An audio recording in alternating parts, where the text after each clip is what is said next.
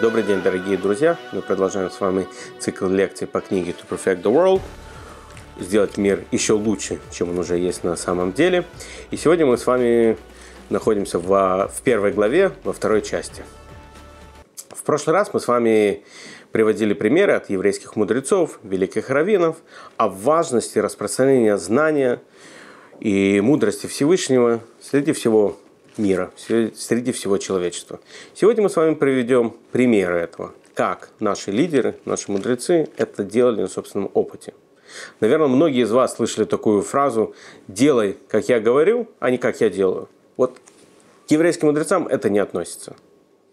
Если они не показывали что-то на собственном примере, мы это не воспринимаем. Начнем с нашего праотца Авраама. Его имя Авраам раз происходит как отец нации. Отец нации Арам. Почему? Поскольку Авраам влиял на все население, в котором он жил. Он не находился в какой-то местности, он не находился в какой-то стране, он не находился в каком-то городе и просто там обитал или принимал местные обычаи. Он старался улучшить жизнь местного населения в материальном и в духовном мире. Мы, как его потомки, конечно же, должны изучать то же самое. Авраам, как отец всего человечества, учит нас тому же самому. Тоже делиться мудростью и менять окружение вокруг нас к лучшему. Написано в Торе, что Авраам и Сара создавали души. Что имеется в виду, они создавали души? Они влияли на людей вокруг себя. Они делали, этих, они делали жизнь этих людей более насыщенной духовно, но также заботились и о материальных важностях этих людей. Написано, что Авраам провозглашал веру в единого Бога. Если мы посмотрим грамматически, то там не провозглашал, а делал так, чтобы другие люди провозглашали веру в единого Бога.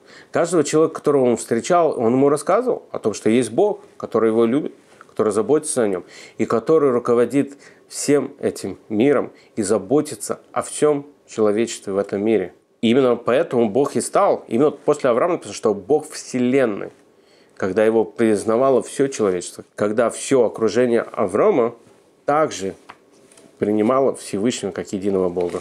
Наш праотец Яков, как, где мы видим его поступки.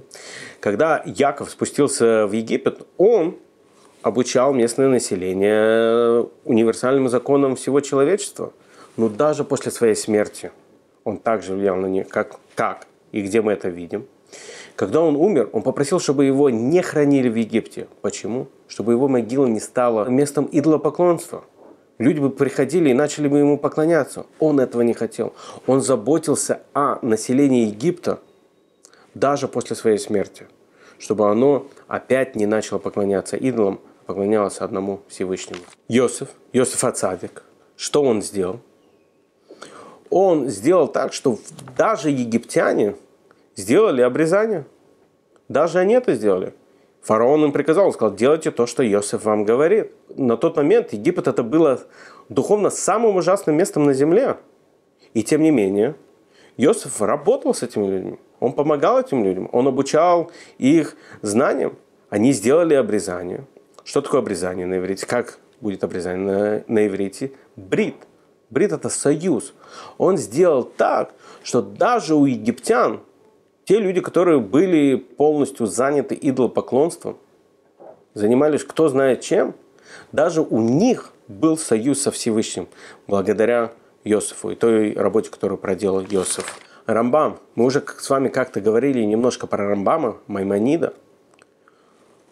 Во-первых, Рамбам пишет, что заповедь распространения мудрости среди всего человечества была дана еще Мойше Рабейну – Моисею на горе Синай, когда он давал ему Тору, тогда же Всевышний сказал Моисею делиться мудростью со всем человечеством. И Рамбам показывал это своим жизненным опытом. Он вставал рано утром,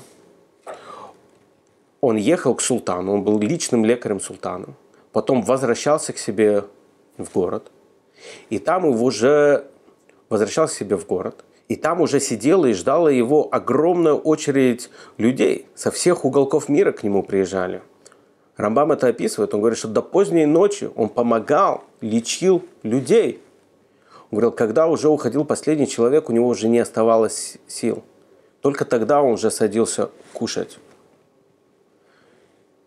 То есть еще раз мы видим в очередной раз, как наши мудрецы не только что-то говорят о важности распространения мудрости, знания, веры во Всевышнего среди всего человечества, но и своим опытом они это показывали.